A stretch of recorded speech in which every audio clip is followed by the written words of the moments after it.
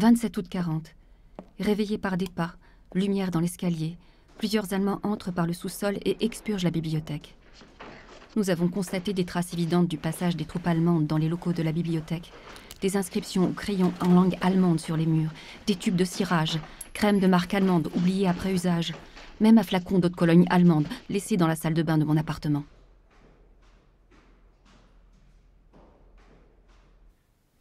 La question de savoir, au fond, qui est une question qui taraude tout le monde, à juste titre, c'est combien y a-t-il eu de résistants et de résistantes en France?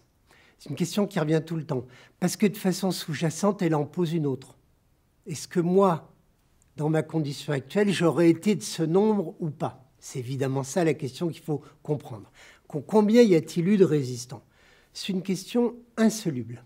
Jean Cassou développe cette thèse que la résistance quand on réfléchit, quand on a laissé les choses se décanter en 1953, ça peut être beaucoup de choses, mais c'est fondamentalement une affirmation morale.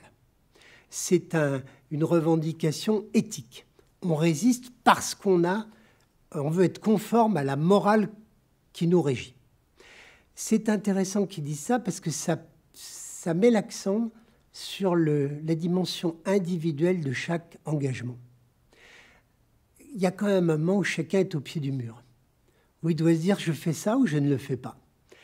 Et qu'est-ce qui fait que vous le faites ou que vous ne le faites pas? Il y a quand même beaucoup de risques. Très tôt, on en est conscient. Hein. Donc, vous voyez, la question de savoir numériquement que représente la résistance, une question insoluble. En revanche, la question de savoir si la résistance petit à petit développe un ancrage social, ça, c'est pas une question insoluble. Il est parfaitement clair que c'est ce qui se produit.